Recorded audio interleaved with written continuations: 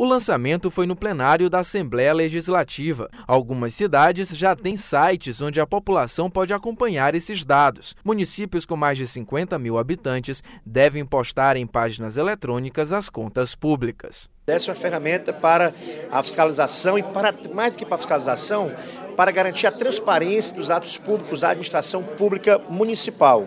É, isso já vem acontecendo nas esferas, federais, nas esferas federal e estadual e é muito saudável que o TCM motive os municípios cearenses a implementarem os seus portais de transparência. Segundo o presidente da Câmara Municipal de Fortaleza, a casa já disponibiliza as contas para a população. Vejo com uma importância esse momento a questão da transparência, da, do acesso às informações pelo, pela população e pelo eleitorado, e creio que é um momento oportuno para não só para Fortaleza, mas para todos os municípios do estado do Ceará terem também essa ferramenta como democratização da informação e também do acesso online direto do cidadão com as informações administrativa, financeira, orçamentária das casas legislativas. O portal da transparência é uma importante ferramenta democrática, mas será que está acessível à compreensão de todo cidadão comum?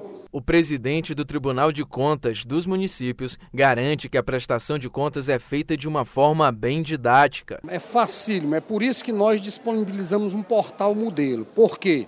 Porque alguém poderia, de repente, criar um site em que houvessem muitas dificuldades de identificação desses gastos. E o que nós fizemos foi exatamente isso: foi sistematizar um modelo que garantisse visibilidade fácil para qualquer cidadão que tenha a oportunidade de acessar um computador. O prefeito de Horizonte, na região metropolitana de Fortaleza, vai começar a usar o software para disponibilizar as contas do município.